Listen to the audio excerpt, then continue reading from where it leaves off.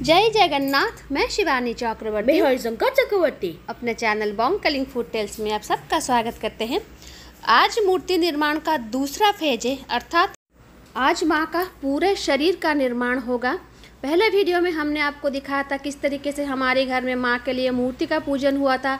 उसके बाद छांच बंधा गया था एकोमटिया हुआ था। एकमटिया अर्थात मिट्टी का एक परस्त लगाया गया था।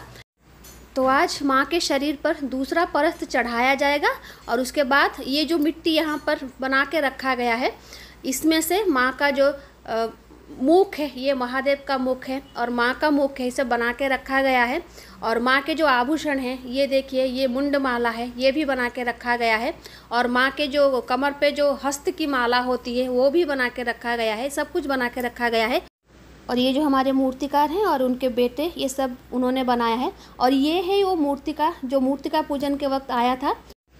इसको आज माँ के शरीर पर लगाया गया है और इसके बाद इसका अब कोई काम नहीं है, इसको पानी में दे दिया जाएगा। तो ये है हस्तमाला जो माँ कमर में पहनेंगी तो इसको भी बना के यहाँ पे सूखने के लिए रखा गया है।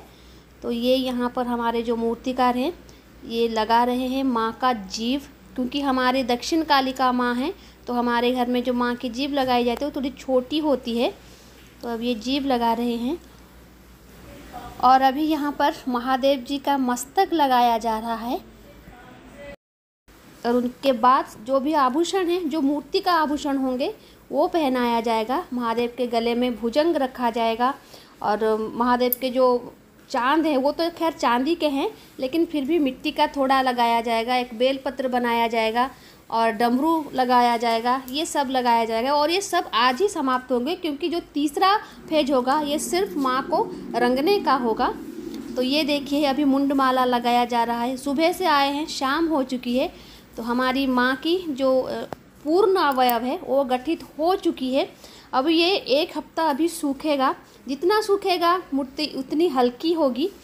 तो आज के लिए इतना ही। रहते हैं। जय जगन्नाथ, जय माँ काली।